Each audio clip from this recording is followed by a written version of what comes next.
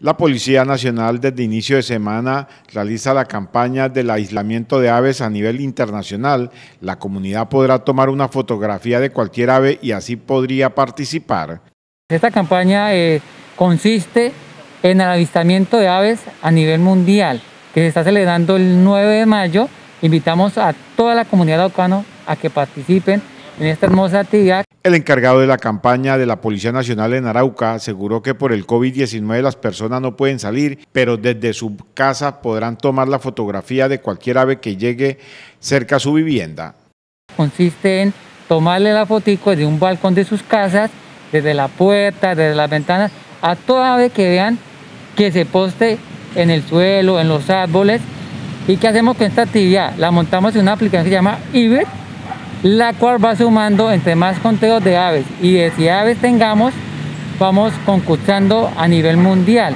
Somos el, país que tres veces consecutivos desde el año 2017, 18 y 19 hemos eh, ganado el primer lugar a nivel mundial.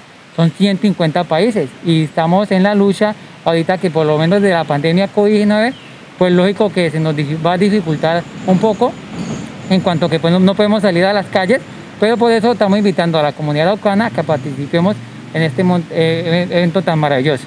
El concurso de alistamiento de aves inició a partir de esta semana en todo el territorio colombiano.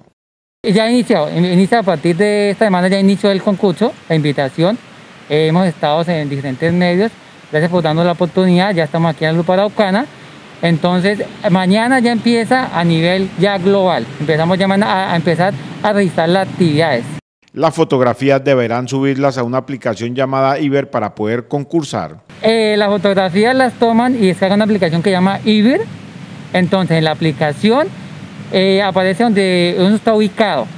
Usted la descarga, se registra en la aplicación Iber, entonces le da sus datos.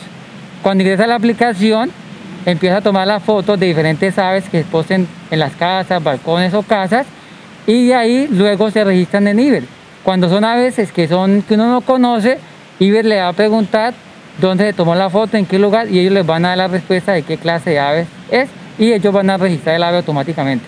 Desde mañana podrán tomar las fotografías de las aves que lleguen cerca a su vivienda, que puedan tomarlas desde el balcón, desde la puerta, en su patio y subirla a la plataforma de Iber y así iniciará a concursar.